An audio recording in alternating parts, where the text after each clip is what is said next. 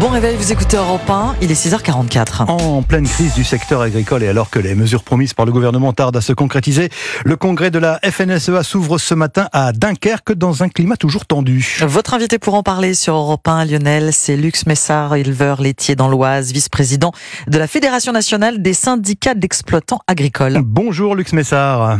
Bonjour Lionel. Bonjour, merci d'être en ligne ce matin sur Europe 1. Votre syndicat a été reçu à Matignon hier par le, Premier ministre. Votre président Arnaud Rousseau avait annoncé la semaine dernière le report de la réunion prévue à l'Elysée avec le, chef d'État, expliquant que les conditions pour sortir de la crise agricole n'étaient pas réunies. Alors est-ce qu'elles le sont un peu mieux, un peu plus aujourd'hui, ces conditions?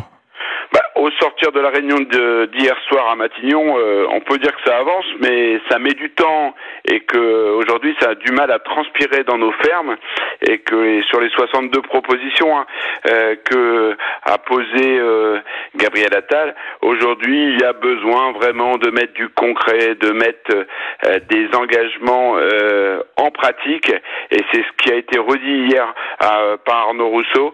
on est aujourd'hui trois jours à Dunkerque.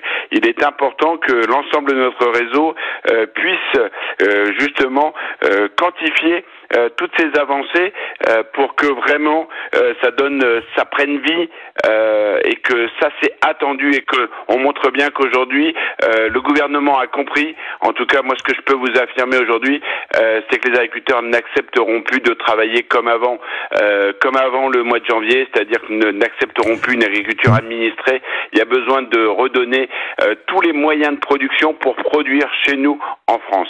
Euh, alors, on rappelle hein, que depuis le, début de cette crise euh, agricole, 400 euh, millions d'euros d'aides d'urgence ont été débloqués par par le gouvernement. on ne peut pas dire que rien n'a été fait, Lux Messard. Donc, vous le disiez, ça avance, mais peut-être que effectivement, comme vous le mm, sentiez, ça n'est pas encore concrètement visible dans, dans les exploitations, sur les exploitations. Exactement. Il y avait un engagement, par exemple, de, de verser les aides PAC au 15 mars tout n'a pas été versé. Les agriculteurs euh, en agriculture biologique aujourd'hui euh, attendent le solde et c'est important. Ils ont besoin de trésorerie.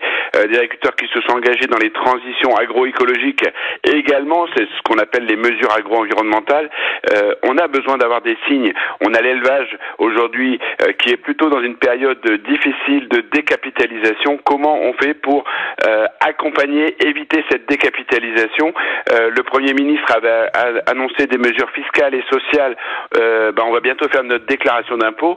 Euh, qu'est-ce qu'on déclare? Donc ça, c'est des questions. C'est finalement, c'est ces fameuses ces réunions, c'est comment et quand. Et donc on a besoin de savoir euh, comment va se décliner ces 62 engagements, euh, quand vont-elles se mettre en place? Euh, la même chose sur tout ce qui est la partie dignité du métier.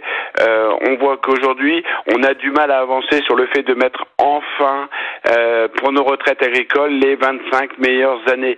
Ça a été voté à l'unanimité par le Sénat et l'Assemblée. Mhm. Et aujourd'hui, on nous dit, oh, au lieu de mettre ça en place en 2026, on le mettra en place en 2028. Ça, c'est pas possible. Il faut que ce gouvernement euh, vraiment passe des paroles aux actes. Donc vous attendez euh, de pied ferme, si je peux me permettre euh, l'expression, euh, euh, le ministre Fenot jeudi, hein, qui, qui, vient vous ah, qui vient vous rendre visite. il va avoir un, bon accueil ou alors au contraire, bah, ça, ça continue de, de grogner avec la menace peut-être d'une relance du mouvement des agriculteurs? En tout cas, un ministre de l'agriculture qui va venir au nom du gouvernement, il va falloir qu'il rende quelques comptes quand même. Donc, euh, il peut pas simplement dire euh, depuis euh, le 31 janvier, ça fait deux mois, euh, bah, on a écouté, on, a, on a, travaillé. Aujourd'hui, par exemple, et sont remontées nos données de nos départements 3000 propositions de simplification.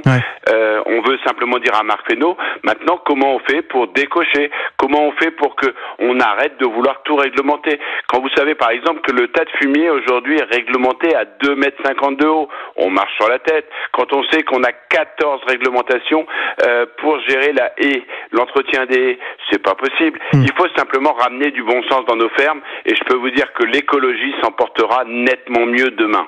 Euh, Lux Messard, je rappelle que vous êtes euh, vice-président de, de, la FNSEA à propos de, de, ce congrès donc de la FNSEA qui s'ouvre aujourd'hui euh, à Dunkerque. Euh, Au-delà de la, la visite du, du, ministre Marc Fesneau jeudi, le gouvernement va présenter vendredi euh, son projet de, de, loi agricole. vous attendez également des, des mesures sur les problèmes de, succession et de renouvellement des, des générations? C'est important. Euh, a une loi d'orientation agricole qui va être annoncée euh, par ce gouvernement, euh, qui va être présentée en Conseil des ministres. Oui, il y a un socle fort sur le renouvellement des générations. On a aujourd'hui énormément de jeunes qui veulent faire ce métier, mais il faut que ce métier euh, soit capable de sortir du revenu, parce que quand on veut faire ce métier, il est important de pouvoir se rémunérer, mais aussi d'avoir un métier qui soit vivable. On fait aujourd'hui plutôt 60 à 70 heures par semaine dans nos fermes. Il faut que demain, euh, ces jeunes puissent vivre comme tout le monde, puissent prendre des congés euh, et avoir aussi la possibilité d'innover, d'investir. Et c'est ça que il faut accompagner les, jeunes et surtout aussi qu'on aide les, les, gens qui vont transmettre. On a 160 000 agriculteurs qui vont pouvoir demain prétendre à une retraite. Bah, que ces, ces, ces personnes qui vont transmettre, finalement, on leur donne du sens. Ils n'ont pas travaillé toute une vie pour rien. Ils ont bien sûr la retraite, mais surtout, euh, c'est de passer le flambeau à des jeunes, leur donner euh, l'envie d'entreprendre. Et je pense que c'est ce qu'on va porter, nous, à Dunkerque, c'est cette envie d'accompagner finalement tous ces femmes, tous ces agricultrices, ces agriculteurs qui veulent faire ce métier, mais qu'on vraiment qu'on leur fasse confiance, qu'on retrouve cette dignité, ce sens à ce beau métier qui est finalement de nourrir les gens. Le congrès de la FNSEA qui se tient donc euh, à partir d'aujourd'hui à, à, Dunkerque. Merci Lux Messard, je rappelle que vous êtes vice-président de cette FNSEA. Merci d'avoir été en ligne ce Merci. matin sur Europe 1.